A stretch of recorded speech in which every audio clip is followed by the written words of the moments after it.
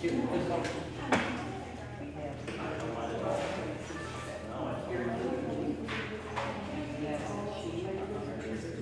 yeah.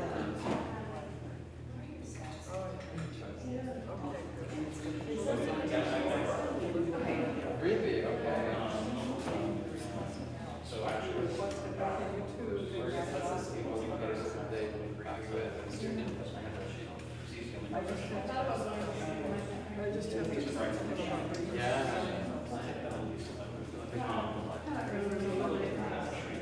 What is, what time is it?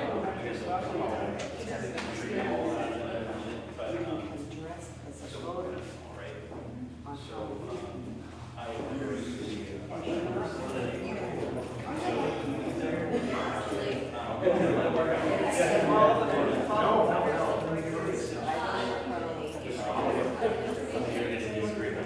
Well, whatever, whatever.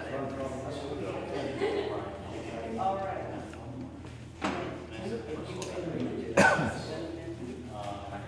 Well, we're online. My, my, my, my, my, it's not my voice, so I think you should get started. This what we're gonna do is, uh, it's kind of an art lecture.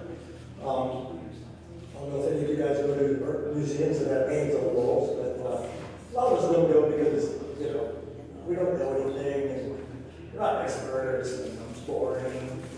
Uh, so this is how you make it not boring. It doesn't make it actually, it makes it not boring, it makes it a lot of fun, and it's especially fun if you've got children, which I Oh, you're have, fine, sir. Or if you've got a friend. You walk into each room in the, in the museum, right? And everybody, without communicating to anybody else in the room, uh, they, they walk around, they look at every paint or sketch or whatever it is, uh, and you, you have to pick one. You have to pick the one you like the most. Then you get back together, whether it's two of you or, in my case, the, the five of them. Um, and you say, what do you want? And you should have to say something. Why'd you pick that? And you say, well, you know, I, thought you looked like a ten because that's my right. Uh, you know, that's, that's what I like the most. And then you've got a discussion going, and you've got a real incentive to look at the pictures carefully. You, you can walk by them if they're not interesting, but you've got to find the one it is. Uh, and so you have a discussion, you get, you can explain your choice, or you explain theirs, and within a very short period of time, you've actually experienced the room in a completely different way, and you'll always love doing that in the future. So um, everybody has to walk out. And, uh, I'm not going to do it. My name is Rick Stewart. I'm from. Uh, you'll have to stand. I, I'm from uh, Iowa. Uh, there's seven generations of my family. I'm the fifth. Uh, born in Postville, raised in Winona, live in Cedar Rapids. My great great grandfather came here in 1853 before Iowa was even a state. He settled down uh, near Keokuk. So I got the entire eastern seaboard of Iowa covered. Don't know very much about the western seaboard. Um, I, uh, you know, was very lucky. I was a paper boy for Des Moines Register, and that allowed me to get a scholarship to go to the best high school in the world. I'm not joking here. It's, seriously, it's the best one in the world. Um, it, uh, Phillips Academy in Andover, Massachusetts. Uh, and, uh, you know, I was, I was like the farm boy from Iowa that was out there with a bunch of East Coasters. I, that that was their affirmative action. Let's get somebody from Iowa. And I was that kid. So I had four years of uh, insanely good uh, high school education. Uh, I went to California for one year of college. Uh, that was 1969 in Stephanie, so for those of you who don't remember that, uh, it was you know, it was the hippie era, uh, Rolling Stones concert where the guards killed a guy. That was that year. It was also Earth Day was invented that year. The students took control of the campuses. The one that I was at closed down all classes six weeks before grad, uh, finals in the spring. Uh, we were just told to like do whatever, do sort of whatever you wanted. Kent State, you know, they, the United States government murdered the four kids my age at uh, Kent State. It's a very dramatic year. I left uh, not thinking that it was productive to go back, but uh, I ended up actually going to ISU for one quarter because my mom applied for Dave's autonomy and you know I had nothing else to do really, not, certainly nothing productive. Uh, that was the quarter that I, uh, my, my three roommates and I won a, a pound of uh, marijuana, rodeo on this quarter. And uh, um, we pretty regularly tried to eat, drink, and smoke as much of that as we could. We're, we're completely successful, that's a lot of marijuana. Uh, but it's also the, the quarter where I uh, took my first uh, LSD because it was really good at LSD.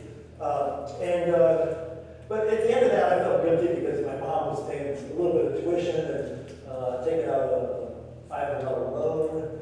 And I'm like, you know, I can't do that to my mom. She, my, my parents were not healthy. They in college. Um, so I dropped out and I uh, took a two-year trip to Europe, Middle East, Asia. I ended up in Kathmandu. Not where that is, it's uh, Nepal, which is north a little bit east of India.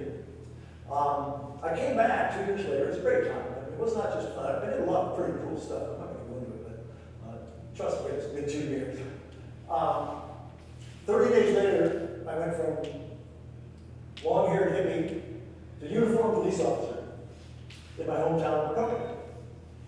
Uh, that was a good two years too. I did that for two years. It I had not just looked at the other side of the fence, I had jumped over the damn fence, uh, and I've been on both sides. Uh, I've, I've seen that. You know, I've seen both those worlds exceptionally close. Um, after I left that, I'll skip a few things, but I did earn a degree at Kirkwood Community College in agricultural mechanics, which is incredibly valuable, even though I've never been a mechanic since then. And I haven't really even driven a tractor since then. Uh, but during that time period, I was lucky enough, right a product, right place, right time, uh, and I just started this little hobby selling herbs and spices, only legal herbs, thank you very much, and um, to natural food stores. Originally just here in Iowa. Well, here we are, that was 1976, so here we are, however, who can do mental math, uh, 46 years later. And um, it's a three, uh, $200 million company that has 600 employees. I was the Iowa Small Business the, Small Business Person of the Year in 1992. I was the first national runner for America's Small Business Person of the Year. Our company got tons of press for the really cool stuff we did that nobody was doing. Uh, in fact, uh, Working Mother magazine uh, put us on their list for three years in a row uh, as the, one of the best companies in America for working mothers. We were on the Inc. 500 list of one of the fastest growing companies in America for one year. Uh, but you know, when I was 49, uh, I had always kind of goal of retiring when I was 50. And when I was 49, I wasn't rich. I'm still not rich, but I, I didn't have to, to pay for my kids' college education because I had to stop, stop away. Uh, I retired.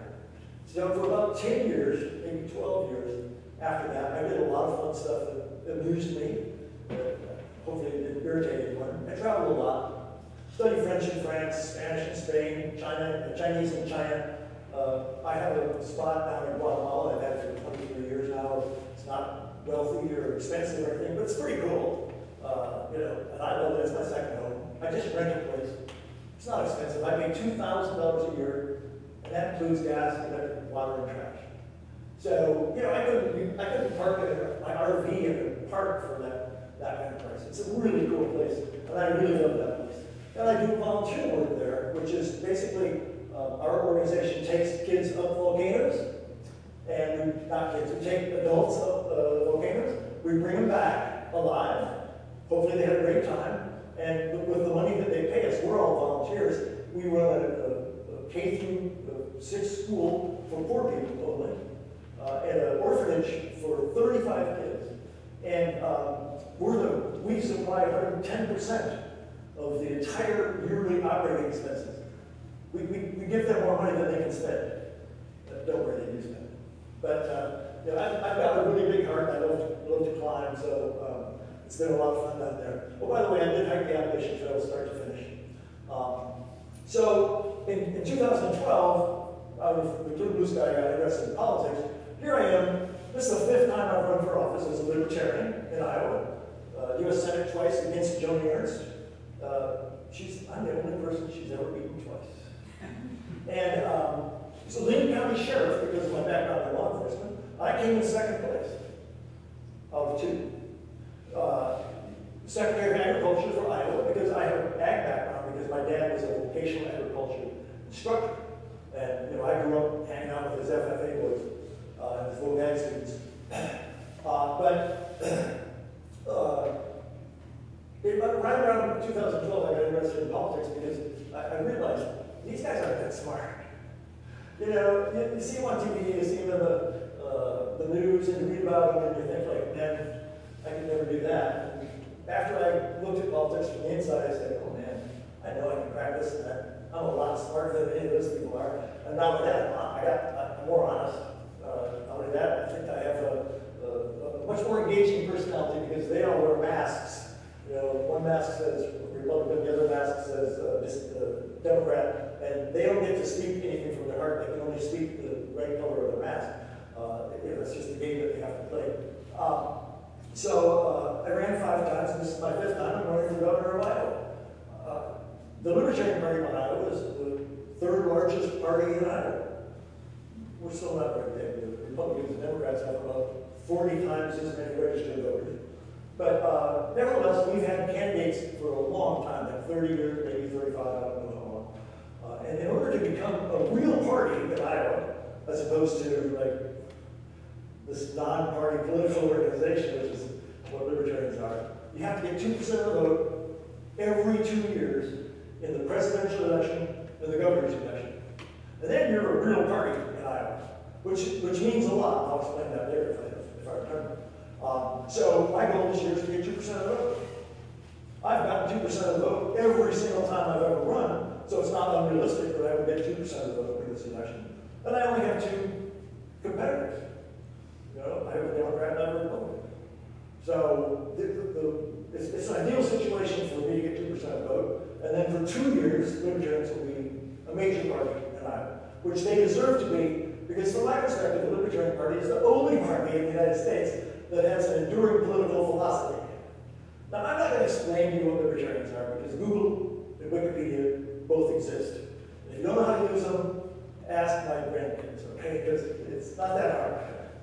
Uh, but what I do want to do, and mostly I'm going to answer questions, and don't worry, if you don't ask questions, I can keep on talking. So you should jump in and ask me questions that, that, so I have to talk about what you care about instead of what I talk about all the time. Um, my, uh, my, all my candidacies have been run on a shoestring.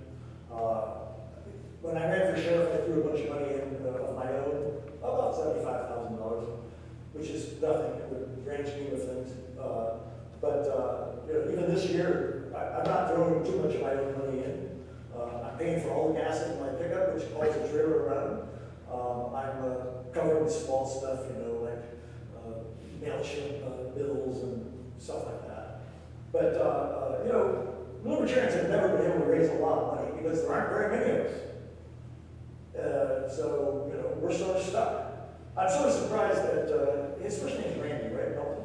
Is that right? Who remembers who you just got done listening to? Ryan Melton, the previous speaker, is that What's his? his first name? Ryan, Ryan. Ryan, Ryan, Yeah. Ryan. I think I got the R right. Uh, you know, it's like, he's a Democrat, and, and- and he's, you know, he's not going after the money, but, um, it's not a surprise that none of the Democrats are giving him fifty thousand dollars, or let's just say, a million dollars. I'm, glad he's not here, but, but is he gonna lose? I'm sorry, but politics is a business. It's not a hobby. It's not a nonprofit organization. It's not a religion. Sometimes they act like it is, but it isn't. It is a business. And it's taken me five uh, campaigns to figure out, oh, you know, I need to know the recipe for that business. It doesn't do any good to try and be a politician if you don't know the recipe. Because you're going to lose anyway. It, it makes a lot of sense to learn the recipe and then try and execute. Just because you know the recipe and try and execute doesn't mean you're going to make it, but, uh, you know, learn the recipe and then do your best to follow the recipe. And sometimes, about 50-50, you're going to actually be successful if you're a Democrat or if you're a Republican. And that is a major problem in this country. We only have two parties that anybody even knows exists. I, I mean, I mean thousands of people in Iowa, and this is over the course, you know, thousands every time I run, so 50 or whatever that is, 5,000 plus, probably 10,000. Uh, and most of them have never heard of the Libertarian Party. So what we really have is we have an identity problem. In, in marketing, it's called, uh, nobody knows what you're selling. And of course, we're selling political candidates, and nobody knows who we are, and they sure don't know who our political candidates are. And they never will until we raise our brand awareness. People in Iowa need to know there is a Libertarian Party. And then hopefully after that, they go, and their nominee for governor is a guy, I forget where from, but he's sort of cute, know, old. Uh, that's what the challenge is. Um, there's a whole bunch of other stuff that goes into it, and listening to uh, him- speak, I realized that, you know, he doesn't know the recipe. But that's not bad, I didn't know the recipe ten years ago. And I probably don't know half the recipe today. But uh, it's really important to know the recipe. Because the other thing knowing the recipe does is it, it defends you uh, against people who would take advantage of you. Because in Iowa, you know, only a third of the voters in Iowa are registered Republicans. Only a third are registered Democratic. Democratic. Uh, a, tiny amount, like 10 or 11,000 are libertarians. But a third of all Iowans who are registered to vote, they're nonpartisan. And there's a reason for that. They don't feel comfortable in the Democratic mass.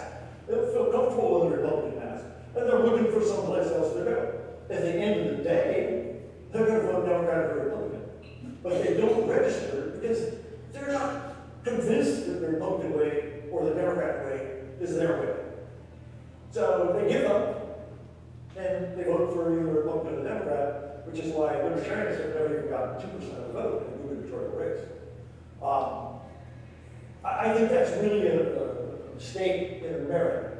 We simply have uh, accepted the fact that the Republicans and Democrats can control the outcome of every election, and we're not going to stand up and say, I'd like somebody else. Thank you very much. And that's a real tragedy, because when you only have two parties, what they do is they try and divide that voter in the middle. They fight really hard for that voter in the middle because they can only win if they get 50% plus one of the vote. So, believe it or not, you, you might think, well, they're not talking to me. Well, they, they probably aren't, but they're talking to somebody else. And they're trying to make that somebody else afraid of the competition. Fear is the greatest human motivator. And politicians have perfected the art of making you afraid. And if you just listen to the political discourse in America today, nobody says, oh, I love so-and-so. What they say is, oh God, I hope that one doesn't win. I get it all the time. I people shout it at me. They say, anybody but Kim. That's not a really good reason to vote for somebody, is anybody but Kim. Um, and then the other side is exactly the same way. They're like, you know what they did? We can't vote for them. I got 20 postcards, those big colorful ones that you'll start getting very soon. Two years ago. And uh, I- saved them because, you know, I was running in that race. Right? One, all of them from Joni Ernst and from Theresa Greenfield. Uh, and then, you know, later, I had a pile of them cleaning my house. And I, I started looking at them because, I, I don't read it when I get in the mail. And I, I'm like, wow, this is really interesting. I put every one of these, these are the big colorful ones. I put every one of them on the floor in front of me. Uh, Joni on the left, because I don't like to go to that right left, and Theresa on the right. And uh, Theresa Greenfield had sent me exactly 20 postcards. And 18 of them were telling me how bad and evil and awful it would be if Joni Ernst was ever our U.S. Senator. Only two, 10%, said, here's how you should vote for me. So I went over to the other side, the left side, I counted up. Joni Ernst sent 19 negative postcards to me. And she only had one positive. And that's the way politics works in America today. And you are either aware of that or you are a victim of that. And I don't like to be a victim of my own ignorance. And try and figure out what's really going on here. And what's really going on here is politics has been reduced to who can scare the other guy more, or who can make you more fearful of the other guy. And the person that promotes the greatest amount of fear is going to win the election. That's pretty pitiful. If we're electing our politicians based on, I, I'm afraid of the other guy, so I'm going to vote, I don't know who that guy is, but I'm going against her. We are not living in a democracy. We are living in something which has been completely controlled by two parties who are nothing but marketers.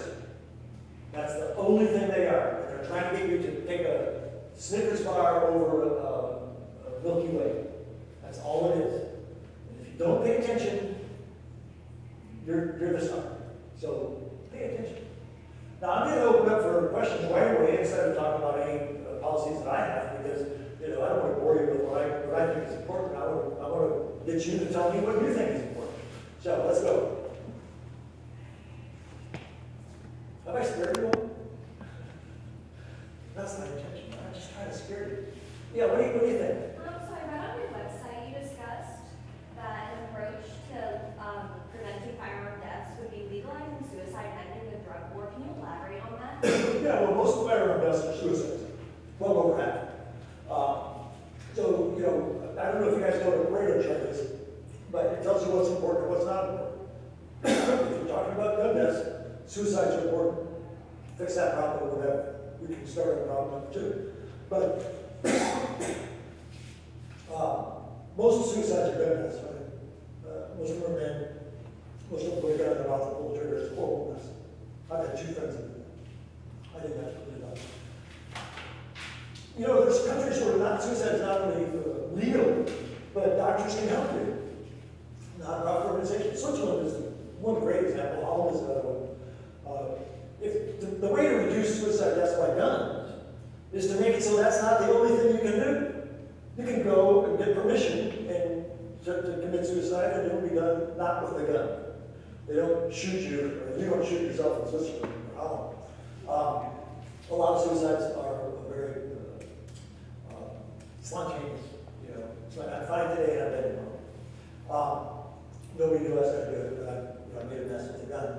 So, uh, that's, that's why I say suicides first. Take care of that problem by making it so I don't have to put a gun in my mouth. I can go and, and, and, and- and remember, they don't just, you don't just walk into the clinic in Switzerland and it's like, get a shot and you're dead. You know, you go through uh, conversation, you go through some therapy at home, you have to wait a year. Uh, delaying the impulse to kill myself today is a really good way to lower suicides. There's another one which is uh, extremely important, but nobody asked me about this, I'm going to tell you. Uh, we have we have 70 veterans every year in Iowa that commit suicide because they have PTSD.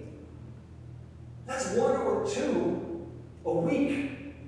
And MDMA assisted therapy is not legal because of the drug. So our Iowa veterans don't have access to that MDMA assisted. And it's, it's very close to being legal. It's already in phase three trials with the FDA. In a couple of years, it's going to be legal. But let's just do the math. You know, you might need, I might need some but if there's 70 a year, and we can eliminate the PTSD in 65%, two-thirds of those people, okay, then we can save whatever that number is, 50 or 60, every year, we can save veterans from committing suicide because of PTSD. Why the hell haven't we done that? It's free. You don't have to have any tax money. Just make MDMA assisted therapy legal in Iowa for veterans only, and um, we're, we're saving lives one or two every week.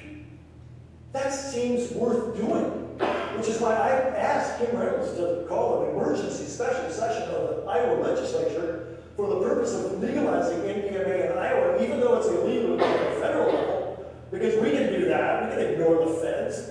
A lot of states have already ignored the feds because they've legalized marijuana. It's still illegal at the federal level. We can just do the same thing.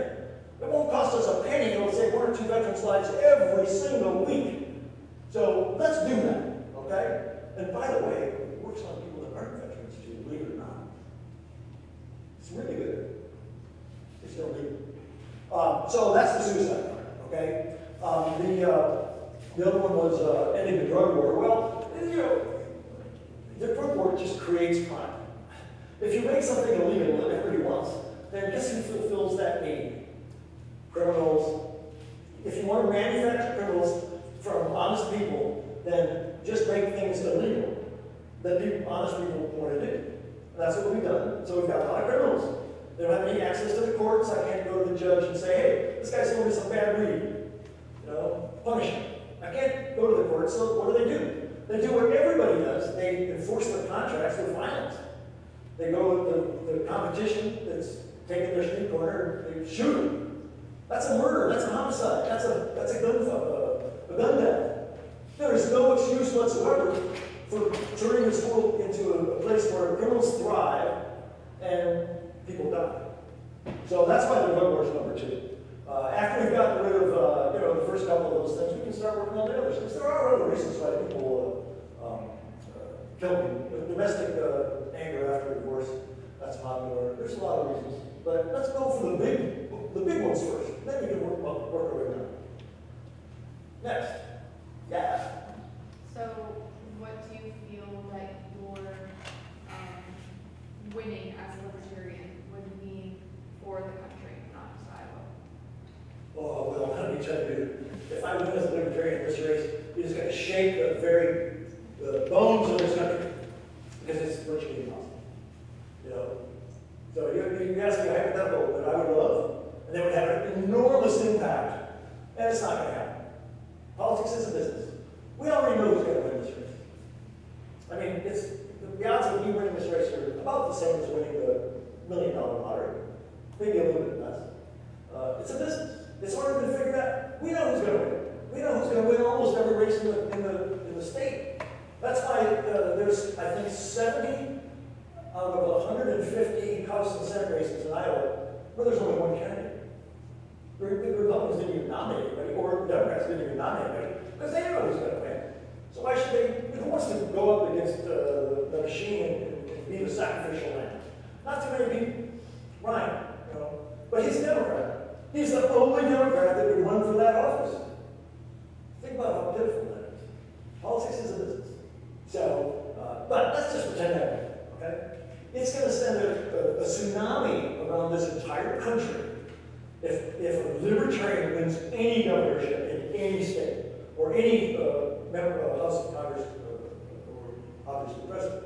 Um, the, the Republicans and Democrats don't, don't want any competition. It just annoys them. Mostly they just ignore it. If libertarians get 5 or 10% of the vote, they cannot ignore us. And they will both start adopting libertarian principles. Not everyone, but just enough so that the next time there's a vote, they're going to get 50% plus one.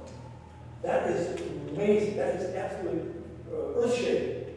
Uh, if a libertarian at this point in time wins any of those bigger offices, any of those federal offices or government. Um, so that's what's going to happen. And the entire country will enjoy it. The entire country would love to see the reaction of libertarian winning any of those races. Keep firing until somebody else picks it up and shoots before you do. Okay, so um, I feel that young voters today are leaning more towards libertarian. We're kind of also tired of the. I hope you're right. Um, so, seeing as kind of what you just told me was you're not confident that a libertarian could win this race, but you kind of want to edge the voters towards libertarianism. What is your strategy then to engage the youth in voting? Because we are looking for somebody who is more nonpartisan. Well, I hope you're right about, about younger people, and I've also seen indicators that that's true. Uh, so I feel that uh, we're both we're both right this time. Um, you know, it's I, I hate to say this like a hundred times, but politics is a game, right? Uh, the game or uh, uh, a business, and um, you know what I'm trying to do is get two percent of the vote, which is going to be about thirty thousand votes, thirty-three thousand votes. Okay. So my choice of deciding what to do in my campaign is driven by finding 33,000 votes. And it's just a business. It's like, where do you find your customers? Uh, and, and the biggest problem that I have is I don't have an advertising budget to go after young people. I, but I need 33,000 votes. Uh, if I had an advertising budget, a whole lot of it would be directed at, at young people. But, uh, you know, if you know any millionaires that would like libertarians to win, send them my direction, send me a check, I will spend it wisely.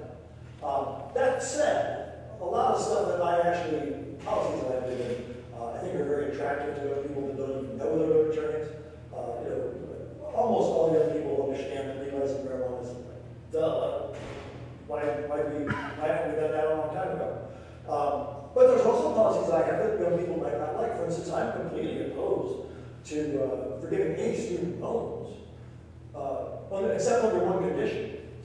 If, if we will agree, and this requires a constitutional amendment, that never again will the federal government lend any student any money, then I will pay off, I'll be happy to pay off every student loan up, hundred percent, no questions asked. The student loan program is, it, it costs everybody in this room a lot of money, and I'm not talking about you borrowing money. I'm telling you that all that happened when the federal government started handing out free money and free loans is that all, all the universities, all the private colleges, every, every single one just said, oh, we're gonna raise our tuition. Why do you think tuition costs went up? It's not because they started paying the professors more. Universities are a business too, even when they're public universities. And when they saw an opportunity to, to, to raise their tuition, they grabbed it. I mean, who wouldn't? It's free money. Because if you, I can't go way into this, but the way that student aid works is first you have to apply. And, you know, people that have money, they don't apply. But the people who'd like to, they don't have the money or they can't afford the full cost, they apply. And then the, the college or the university goes through and they give you, you know, uh, this kind of scholarship, this kind of scholarship, this kind of work program, and then they, they take your Pell Grant and then they give you a loan at the maximum amount. So you actually end up paying exactly as much as if there was no loan program. Oh yeah, I forgot to say, they, they check your parents' income and they say, well, your parents can afford to pay ten thousand, so we gotta count that, right? They've made up the gap for like years. In nineteen sixty-five, when I went to that high school, that's what they do. They say, how much can your parents afford to pay? You know, in my parents' days, I'm like, three hundred bucks. They say, okay, well, the rest of us. If there had been a student loan in there, they would say, oh, okay, uh, your parents can pay three thousand bucks, uh, the student loan you can get is for uh, three thousand dollars, so your parents can pay the rest. The price went up for you. It's basic math. You don't need to have a degree in economics to understand what happened. It's been well demonstrated over and over again. There's a few colleges, believe it or not, that actually made a public statement that we're, well, we're going to raise our tuition. Most of them kept their mouth shut, but that's what they did. So, you know, a lot of students think they're like, well, why can't I have a student loan? No, you don't. Once that student loan program is out of there, it's not going to cost you a nickel because the tuitions, they're, they're just going to go down, or the school's going to give you more financial aid. Uh, so, you know, the students, they like some of my stuff, they don't like some of my stuff. If I could have had a chance to speak to every young person in Iowa at the same time, um, you know, we would have a, a nice uh, talk. Uh, you know, I'm fairly convinced that I can convince a large percentage of them, a huge percentage of them, uh, that libertarian ideas are much more feasible, much more fair, uh, much more equitable than anything the Democrats and Republicans do. Because you have to something, the Democrats and Republicans, they're just trying to win an election. They're, they don't care about students. They don't care about old people. They don't care about uh, mental health. The only thing they care about is winning elections. And they do everything that's necessary to win an election. A lot of which is lies, a lot of which is fear. Libertarians, we have principles. You, you might not like some of our principles, but we can talk about our principles. And, and you know, even when we go away, we, we're still disagreeing. At least you know what my principles are. You know that the next libertarian is, is going to have the same principles. and Tomorrow's libertarian is going to have the same principles. Uh, what, are the, what are the principles of the Democratic and the Republican parties? The, the Republicans didn't even have a platform two years ago. They, they thought, well, nobody votes on principles, so why bother? The Democrats have uh, a platform which, which looks like Webster's dictionary. You know, it's like every single thing that anybody could ever want to say, yeah, we're in favor of that. That's not what they do, but they write it down. No one's ever read the whole platform. So, uh, you know, I, the, the, the sad news is most voters, the vast majority of voters, young, old, they're not well informed. And there's a good reason for that. They don't have the time to be well. It's not high on the list priorities. They, they, it's just want to order. This is endemic around the, the entire country. Voters are having the uh, low-level involvement voter. What we need to do, because that, that's human nature. There's so many things to do in this world today that have time left over for politics. Uh, It's like, you I, I'm doing too much already. That's the way the vast majority of all voters all across the country are. Uh, there's a very few number that get really involved, they get really active, they try really hard. If they're members of the recipe for uh, one of the two Democratic Republican parties, uh, they can actually see success half the time. They're going to half the time. Uh, you know, they'll be disappointed the other half the time. Uh, but what we really would like to see is a lot of people uh, involved more. Uh, but the answer to that is not to beg them to be involved. Good luck with that. They're busy.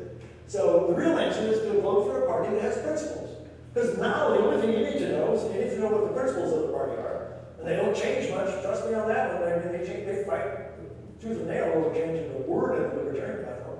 Uh, so all you have to do is sort of learn it gradually over time, you know, a couple of elections, uh, know where to find it on the web, uh, and then next time around, you, you don't have to know too much, just, I, the principles are the same. I, I, I like the principles, I'm gonna vote for libertarian. So, uh, I don't know, that's a long answer to a short question. Of course, every one of my answers is way too long. Yeah, go ahead. Um, what's your opinion on Iowa licensing laws that prevent and restrict small business startups? Prevent that. Prevent small business from starting up? Well, I get rid of every single one, what the hell, we need small businesses. We also need big businesses. But there's no reason to put a roadblock in the way of somebody who wants to start a business. Like, Iowa's the worst, what they call a license, licensure, occupational licensure state in the entire country. Nobody's worse than us. You gotta go to college for two years to be a barber. You know how long you have to go to college to be a, I don't know, pick your profession, firefighter, police officer, EMT? I- I- I'm pretty sure it's harder, it should be, to become a good EMT or a police officer or a firefighter than to become a barber. I'm not trying to blast barbers, but, you know, a person that knows how to cut your hair is probably gonna get a lot of business. A person that doesn't know how to cut your hair is, you know, he's probably not gonna be a barber for very long. We have so many of them, I would eliminate everyone, I just off the bat, period, they're gone. Now, if you're licensed to do something in a different state, you can use that license Iowa. We get rid of our entire licensing bureaucracy, which saves us some money. And it cuts, you know, people lose their jobs, but, you know, they're gonna find someplace else. Um, you know, if you think it through, you'll realize like, well, we, we, we don't lose anything, we just let other people do the work. Uh, but there's some jobs that, uh, Iowa requires a license for, but no other state does. So, since no other state requires a license, I guess we don't either, do we? So, there's no loss to this. Go ahead. I guess I have a personal qualm to what you just said of, um. Are you licensed? Personally, no, but other states don't require licensure for teachers, and so that means that they have lower educational standards within their school districts and for their educators. But in Iowa, we require four-year degree certifications, endorsements, and licensure. So if you were to say, bringing educators from Alabama into Iowa who don't have a proper education or licensure to educate our children in Iowa, they wouldn't have the same standards of education. So I guess, what's the logic there, bringing people who are not licensed into places where they should be? Well, let me ask you a simple question. Are you, going to a teacher, is that you? No. No, Well, my- Well, let's pretend, okay, let's, let's take it on, okay? Uh, so would require four years of education in order to become a teacher. What if you had the option of just starting out as a, a teacher's aide, right? Uh, it's gonna be lower pay, but, uh, going to a year of college is gonna cost you a lot more. So you avoid that, you get paid, and then if you're good, which you may be or may not be, then you get to be the assistant teacher or something, I don't know, some hierarchy. Uh, and then if you're good enough, through observation, parents like you, uh, kids like you, uh, parents think you're doing a great job, uh, then you can become a teacher. Now, along the way, you might decide that, boy, I need to know more. So I'm I'm gonna work on, by myself. I might take some college lessons. I might even go to college. Uh, but you're gonna take this, classes that you need to, to learn about, uh, so that you can be a good teacher. In, in Iowa, teachers don't take the classes that they want to take. They, they take the classes that are prescribed by a bunch of politicians in Des Moines.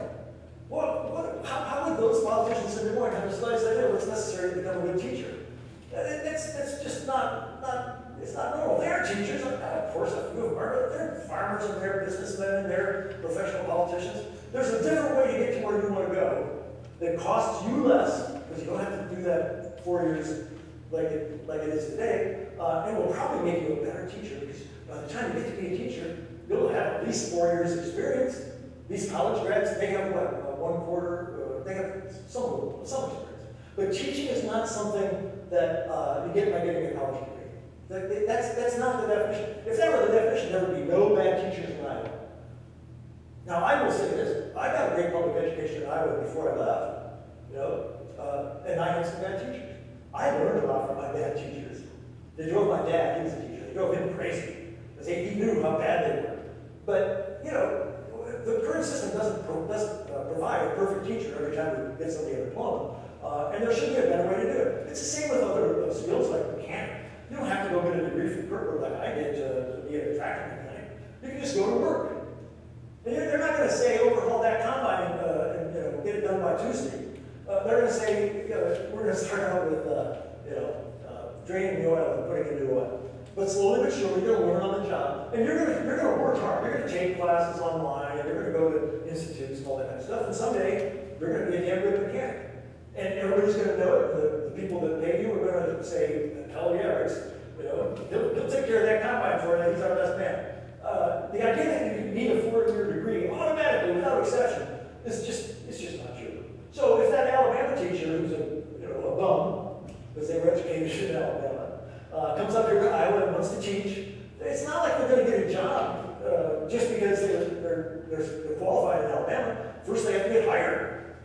And then they're gonna get an interview, the interviewer might say, wow, you, look good, uh, you know, let's, let's see, I don't know, do classes for a week, I want to observe there, there or something. Uh, every other position, uh, it, it, doesn't require that you have to have a college degree. It actually require that you have a college degree when it's very costly, uh, and, uh, doesn't guarantee any results.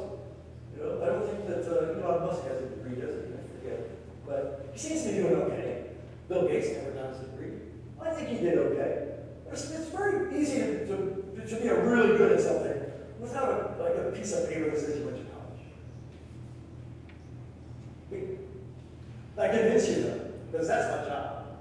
Uh, I would say maybe haven't, but it's okay. I think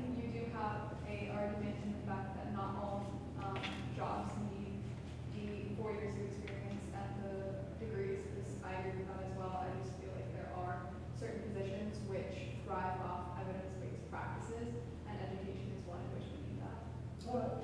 Well, you know, the thing I like better than somebody that disagrees with me, because we are now always going to have an interesting conversation. The person who already agrees with me, you know, we, we, what do we learn from each other? We learn when we have disagreements, not when we have agreements. And I, I, I love to learn. I love to, like, let's see if my didn't say good. Let's throw it out there. Let's talk about it. Let's argue. You tell me I'm wrong, okay? Just don't get angry at me because I had an idea that you are not convinced of. And I won't get angry at you because you have an idea that I'm not convinced of. We'll just have a discussion. It's a learning experience to meet people that disagree with you. Just don't be disagreeable in the process. Next, I'm going to start calling the class, by the way. because My dad was a teacher, and he taught me if you call on a class, they don't have any option. They have to. Yeah. Um, so after your arrest protesting, can you explain kind of whether or not you think protesting is a safe activity in America right now, and if students should keep wearing protesting in the current climate?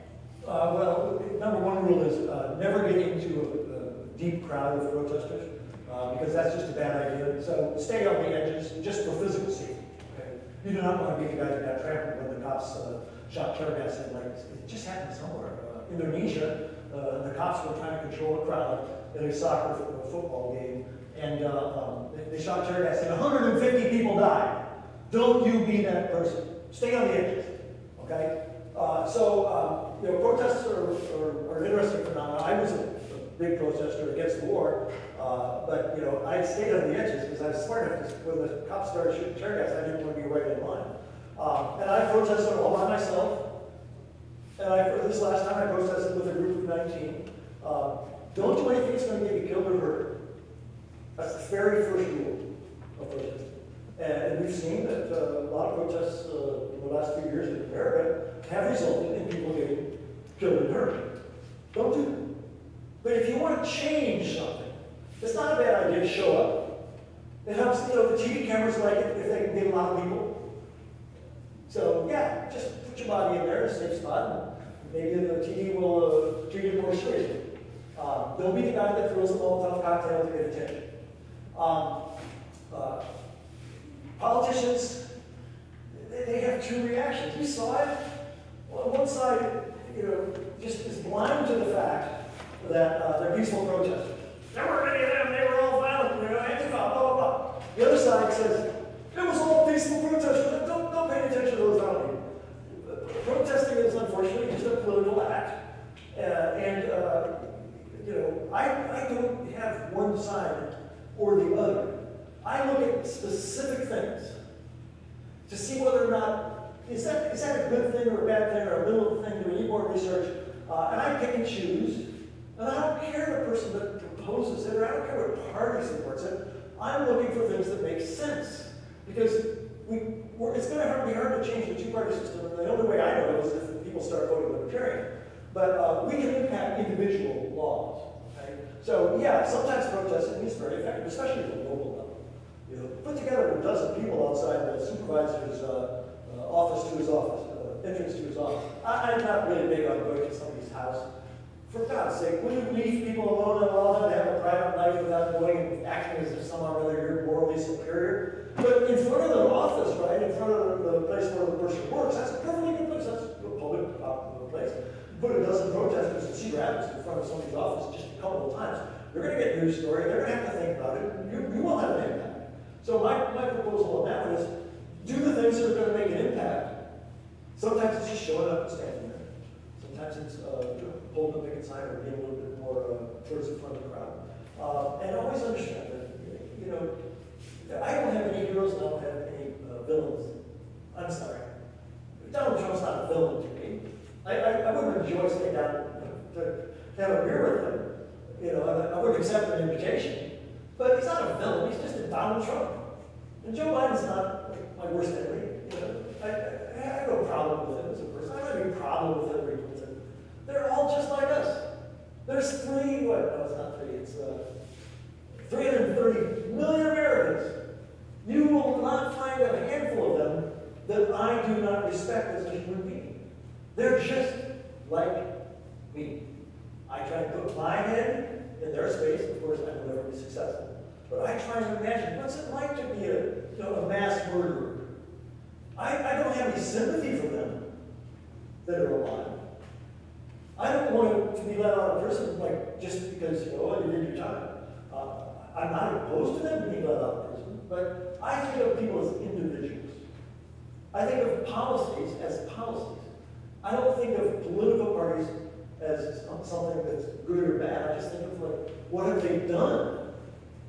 And I don't condemn every Republican for stuff that I disagree with. I don't condemn every Democrat for stuff that I disagree with. We're all individuals. We need to understand that, uh, you know, you can't love anything other than a person. Uh, maybe you're not, but you know, you, you can't love a group. Love is the, the most important human emotion. And it's one of the most important things in our lives. We should not let hate and fear dominate. We should always look for the center, look for the love that's out there, no matter who it is, and, and see if you can pick up on, on, on the, their lives and exude love, and you probably get a little bit of them back. Long answer to a short question. Who's next? Hey, go ahead. I couldn't find anything on your website, but um, what's your stance on abortion? What's my stance on abortion? Uh, okay, uh, I do get that question. Surprise, surprise. Uh, I believe life begins at conception. Uh, and I'm not a scientist, but it seems like that's what scientists think also. Uh, if they change their mind, I'll probably very closely, maybe I'll change mine. Uh, I think life should be honored, it should be loved, it should be protected. That's, I mean, we're, that's another human being, right? I, I, just love the, the 330 million people that have already been born, but I, I, I start loving, I start loving my children at the moment of conception. And I have a lot of friends that got pregnant and had children, I started loving their children at the moment of conception. I also have friends who got abortions.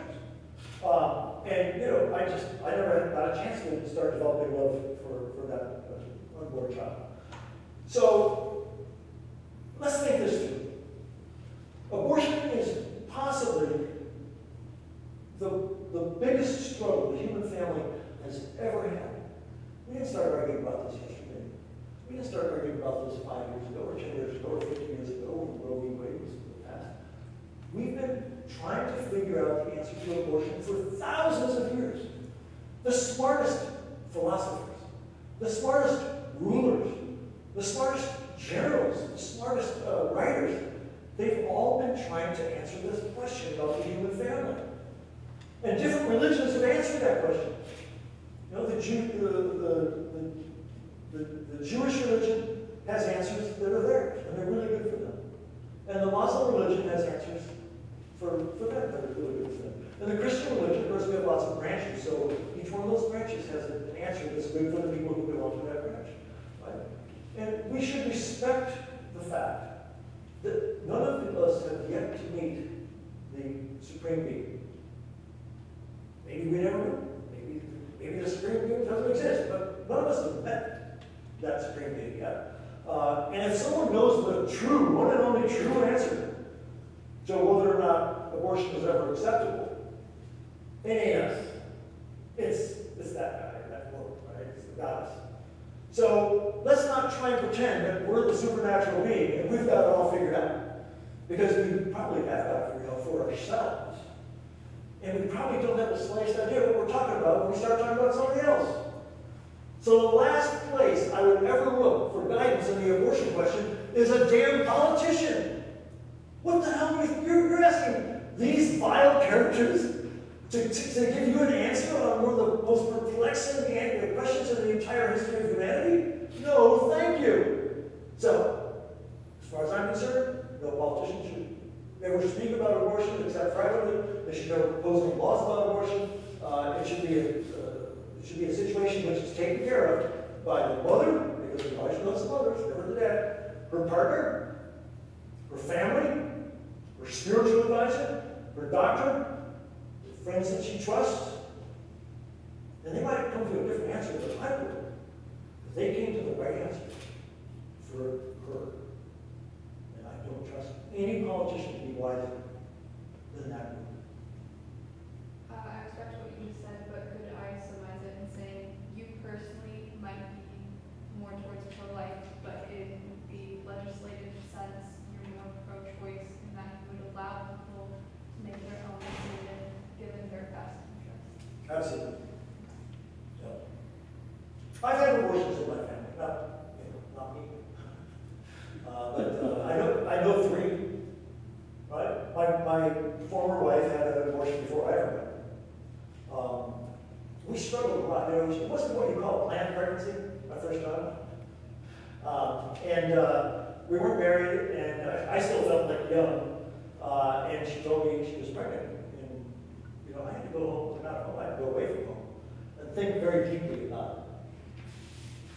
Because I should, sure as what, I was not ready for being a dad. I had a plan. Uh, but when I came back, I said, what do I going to be parents? I still believe that. I got a fantastic result. Got a fantastic result every time we, it happened again. Uh, and I'm so thankful that that life uh, is here. That life is in my life. We didn't, we didn't ever consider the rest of it. It's only the first. Uh, it's, it's one of the greatest, most blissful things that's ever happened. So yeah, I am really, really glad.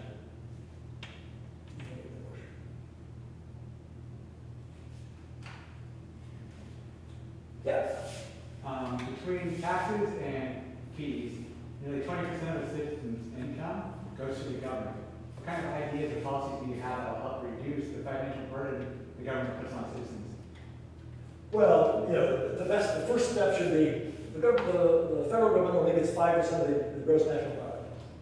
Okay? Figure out how to get down there, but where am I gonna give you five percent? We'll let you have five, but we're not gonna let you have twenty-eight. Uh, of course, that requires canceling just about everything. Probably the military is the only thing that can survive.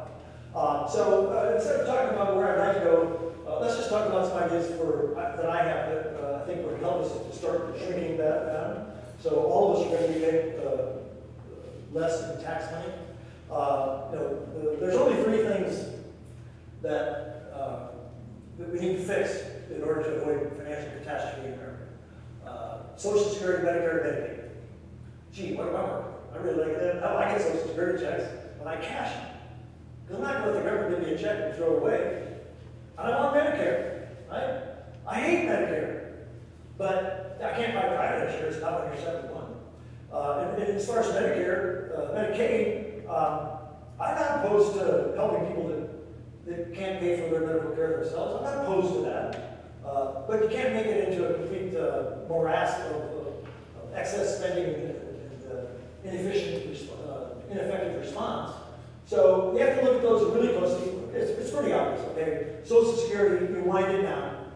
Uh, we, we're gonna have to pay those people like me, who, uh, you know, are already retired, they're already getting a check, and they built their life around getting that check. You can trim at the top, but fundamentally, we're gonna pay most of the people off. Uh, but we're gonna start reducing it uh, slowly over the course of ten to twenty years, uh, so that, like, I don't know, let's just say you're sixty, uh, we're gonna nick you a little bit, you've still got five years left to save more money than you thought you were gonna save, so, uh, we're gonna distribute the pain. If you're twenty years old, um, you know, okay, you're never, you're never gonna get social security, that program's gonna be going on before you get here. The, the question then becomes, uh, how do you do that, uh, and still stay, uh, still keep the ship afloat? Uh, and the answer is gonna be, well, we're gonna have to trim until we can. So, yeah, we're gonna have to trim the top, we're gonna have to trim those benefits down. And meanwhile, so that we're not just, uh, we don't have a, a spot where, uh, people can not save and end up indigent when they're sixty-five, um, I, I happen to believe that wouldn't be a problem. It wasn't a problem in nineteen thirty-one. Old people weren't, like, living in desperate poverty all across America. A few were, more than we'd like to have. But most of the people that got a social security check in nineteen thirty-four, they were not in that situation. They had saved their money. My grandmother was one of those, right? They had their money saved. They weren't rich either. But they, they saved their money because they didn't think there was ever going to be any help. And she always said, to yeah, that social security really helps. Well, you know, you can send a check to anybody and they're going to say it helps. It was, it wasn't good system. So, uh, social security needs to be down, but if we don't trust you, because, you know, you, you might not save, then, uh, we, we could still say, well, we're gonna take money and put it into a 401k for you. Because it's your money, right? We take your money, we're gonna put it in the government 401k. Uh, maybe you can manage it a little bit yourself, like we do with private industries. Uh, but, uh, we're gonna force you to save because we don't trust you. That- that's not me. I, I do trust you. I trust you a lot. I trust you completely. But, uh, over the, over the whole country, you know, we can force people to save, but it's their money, and so there's no problem, they'll always get it back. The gov- the government might go bankrupt, but you're still gonna have your 401k because it's gonna be invested in private companies. Uh, Medicare's the same way. If you just start raising the price and you, go to the market and say, we need insurance for people that are over the age of sixty-five, please start selling it, make it easy for them to sell. It. They will. Uh, and then over the course of time, the government just subsidizes it less and less. Somebody like you, you're never gonna get free medical care, you're gonna have to buy your own. Uh, Medicaid is a little bit harder, but the answer to that's a universal basic income, which is, we're gonna require a tax. You know, you can't give everybody money every year unless you have someplace to get the money from. Government doesn't have any money, they're gonna have to get it out of taxpayers. But if you slowly implement a universal basic income, which is not the ideal solution in theory, but it might be the ideal solution in, in practicality, okay? Uh, you reduce 100% of the welfare state, no more farmers get money, no more, uh, you know, uh, starving mothers get money, no more babies get money, but everybody gets money. And it's the same amount of money for everybody. But everybody has to pay a tax that funds it. And when, when you hit that balance, it's, it's, it's perfect. It's really easy once you hit that balance we're taking in the same amount of money as we're paying out. Uh, so that would be a way that doesn't necessarily reduce government spending, uh, but what it does is that we get a lot more value for our money, which is a little bit like saving money. You know, if I could buy two donuts for a dollar, and then I figure out how I can get three donuts for a dollar, I still have to pay a dollar, but I got three donuts. So that's what the UBI is. It gives us three donuts. Right now, we're just getting two if we're lucky. The just basically wasting most of the money they can give.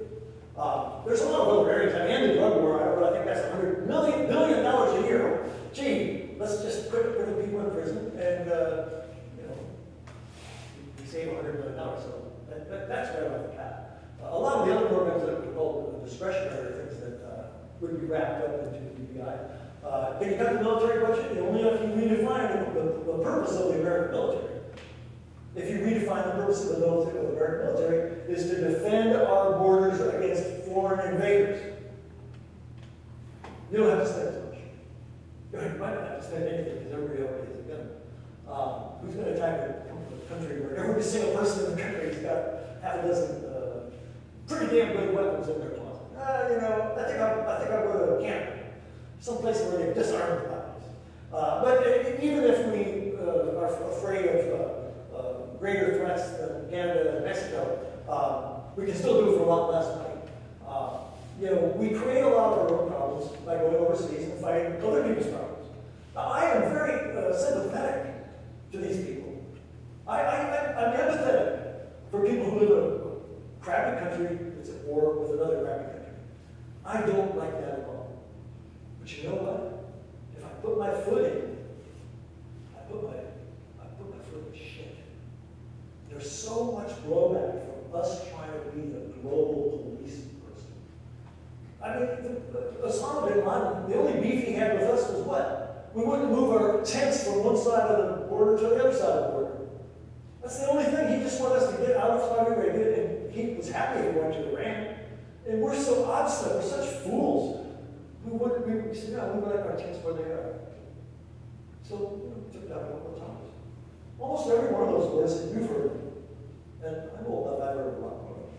Uh, they, they, they basically, we, we, we caused trouble, and then, and then people didn't like it, and then we had to fix it.